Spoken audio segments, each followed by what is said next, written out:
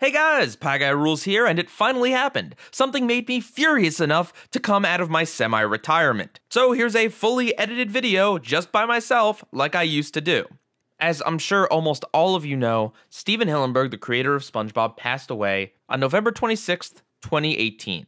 Tragically, he fell to ALS at the young age of 57. I really don't have much to say specifically about that because although Hillenburg created something that did go on to have a huge influence over my life, he himself was always a very private man. And I feel like it's weird and disrespectful for me to speak about the guy as if I actually knew him. All I can say is that it's tremendously sad that the man passed, and it's absolutely heart wrenching that he died at such a relatively young age.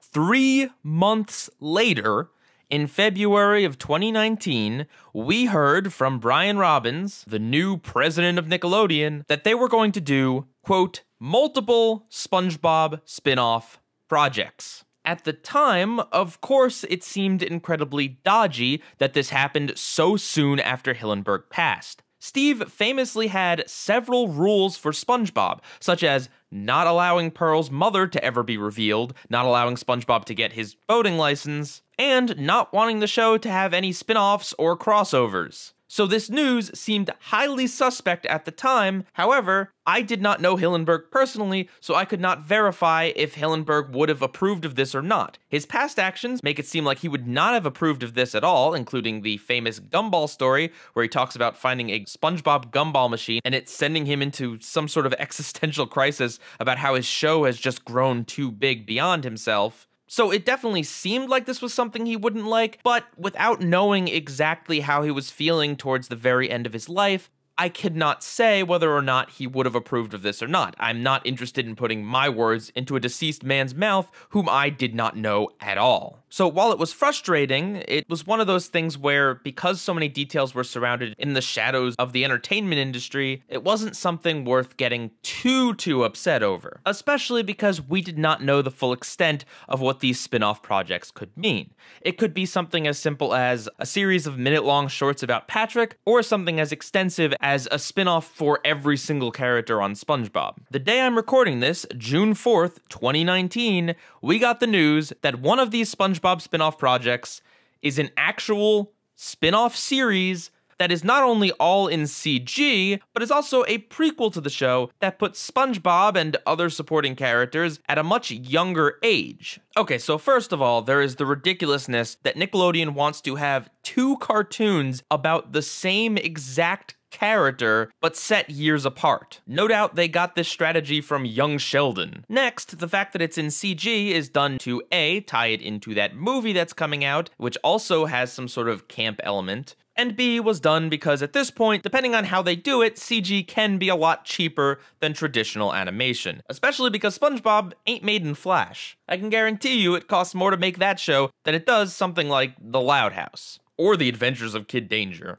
But really, the biggest thing that frustrates me about this whole announcement is, of course, about Stephen Hillenburg and his vision for the show. See, the thing about SpongeBob that has always made it like a bad candidate for spin offs in the first place is the fact that the world of SpongeBob is not actually all that fleshed out. Yes, the show can certainly have some good atmosphere, and yes, the show's setting works for what it is, but there isn't an extensive cast of characters. There's like only 20 characters that make multiple appearances if you don't count the background fish. And if you do count the background fish, their personality varies from episode to episode. We aren't talking about a show like The Simpsons, which has dozens and dozens of characters whom you could theoretically base a show around. Not that I'm saying that's a good idea either, because it isn't. But at least the foundation is there to create something new off of it. But because there aren't tons and tons of characters and locations in SpongeBob, they are going to have to take a lot of creative liberties. Liberties that might very well fly in the face of what Hillenburg's vision was. You could argue that everything that's happened on SpongeBob thus far has been an extension of Hillenburg's vision. Even though there are certainly things that seem to contradict it or come from a different style or clearly have a specific artist's mark on them, they still at least come from the starting point of Hillenburg's vision. But now they're going to design a show from the ground up, maybe reusing characters, although they're going to be at different ages, so that still requires some redesigning and some retweaking. Otherwise, it wouldn't be a spin off, it would be the same dang show.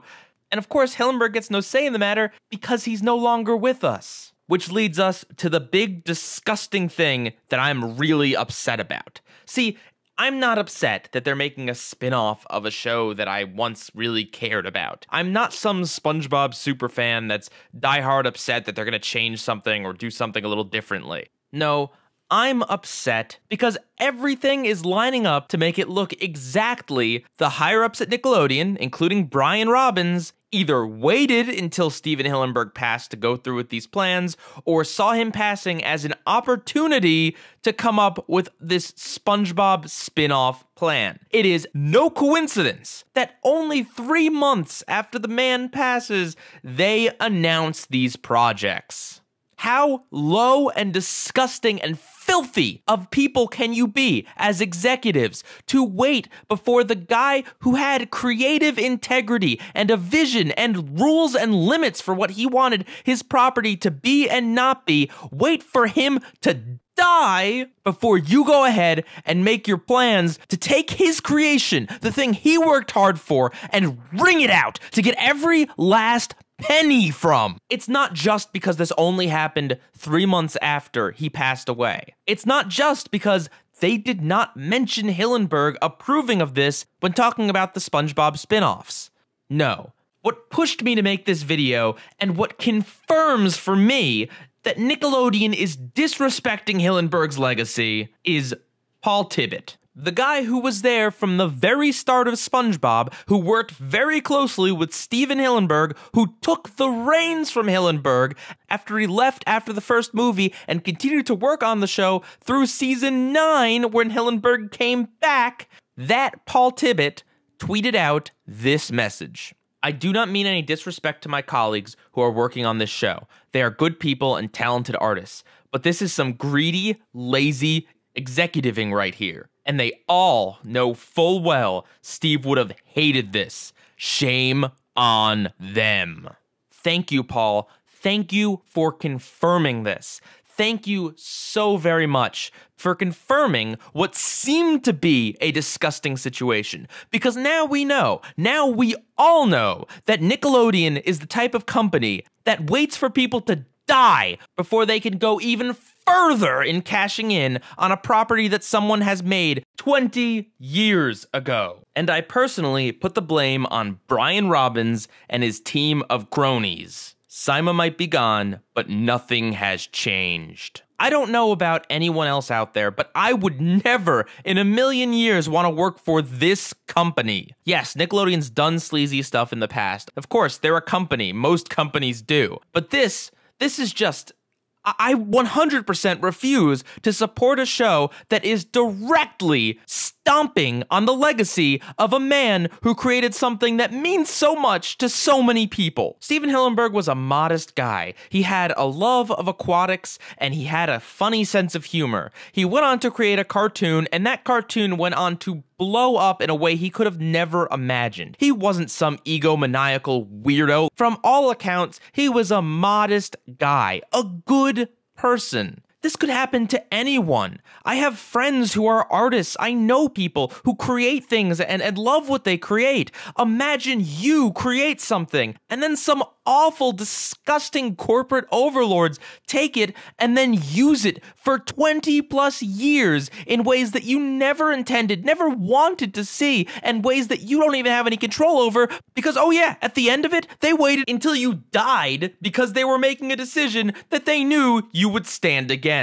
Like Paul Tibbitt, I, I don't hold anything against the actual creative people who are working on Kamp Koral. And I will say what I've always said about SpongeBob. Since Nickelodeon is making hand over fist cash from this property, they had better put as much money as humanly possible into making this show actually amazing. The animation quality better look like Pixar. The writing staff better be amazing alums who have created great works in the past. And they should put as much love and time and care into it because the thing they are making is based on a show by Stephen Hillenburg, the man who, along with his talented team of writers, made a property that single handedly paid for the salaries of so many Nickelodeon executives. Maybe Kamp Koral will be a good show. Maybe it will be a bad show. Right now, though, it does not matter. But making such a huge decision about milking SpongeBob further right after Hillenburg is passed is such a disgusting, filthy corporate move that I don't think I will ever get over it. Pie Guy Rules, out.